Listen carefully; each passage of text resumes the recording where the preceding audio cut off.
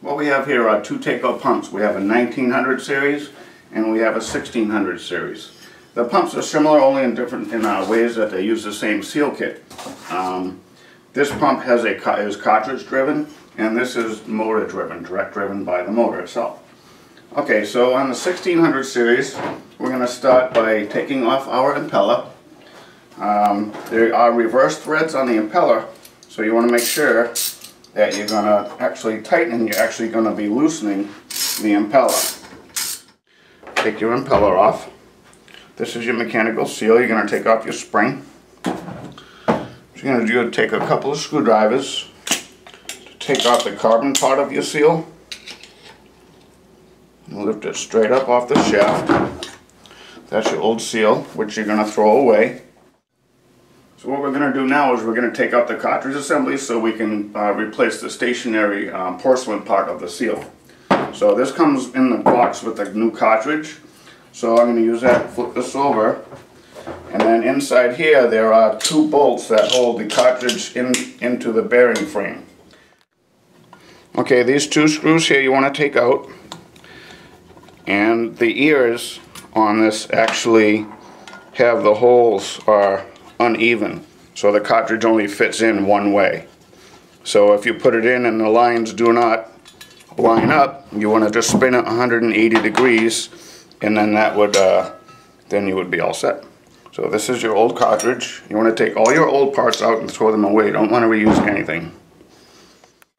So what we're going to do now is we're going to take out our stationary part of the seal, which is the white porcelain and rubber part. That just pops out from the back side. And now you're ready to put your new seal in. Okay, so now we're uh, we're gonna change our seal of our seal kit. We got a carbon, we got a new carbon piece, we got a new stationary part, you got a new impeller bolt and washer. Okay, now we're gonna take our stationary part of the seal, the porcelain piece. Um, actually also gives you a little uh, packet of silicone so you can do this. What you're gonna do is you're gonna open up your packet of silicone and you're gonna put it on the rubber part of your stationary seal. You're going to go around the edge of that. You want to make sure you don't get any on the porcelain piece. At this time, you're going to we're going to press this in here. When you open your spring in your seal kit, you're going to get a little piece of cardboard. We usually use that to put on top of the porcelain so you don't get any grease from your fingers or fingerprints on. You're going to press that in nice and tight all the way around. And that process, you're all set. Okay, next thing that we're going to do is we're going to take our new cartridge out of the box. Okay, we're going to flip this over. We're going to take the sleeve, shaft sleeve off, slide it into the bracket. We're going to take your cartridge, I'm going to slide it in. Now remember your holes are offset, so if they don't line up, you spin it 180 degrees and you're good to go. Take your two screws.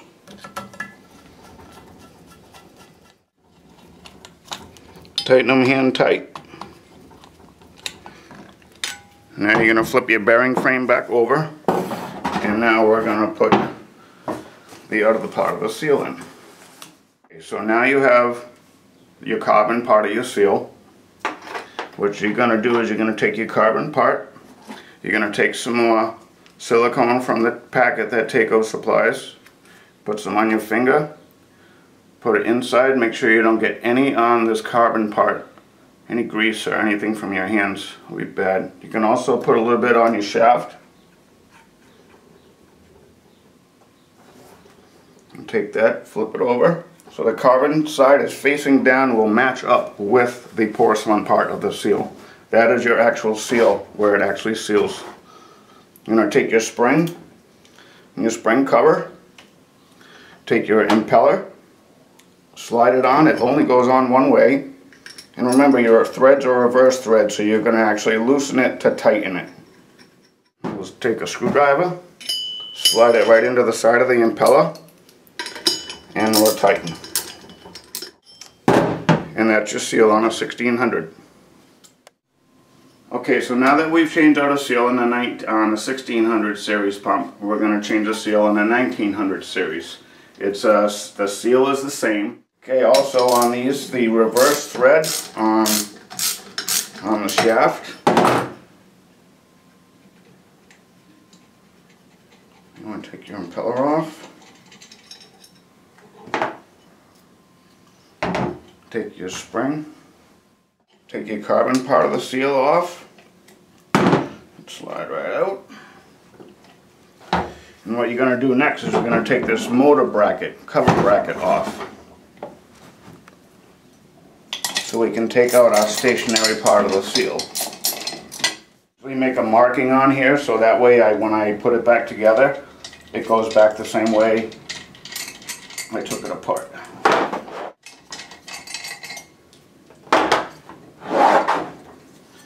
Okay, now this cover bracket's gonna come right off. And what you're gonna do is we're gonna tip this over so we can take this stationary part of the seal out. The process of doing this is the same as the 1600 series. Make sure you scrape off your gasket.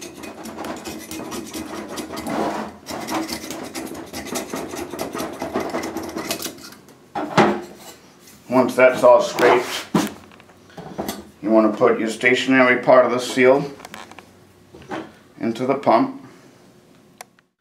Okay, so now we've replaced our stationary part of the seal. We're going to put the bracket back onto the motor. Make sure you put your marks back where they were.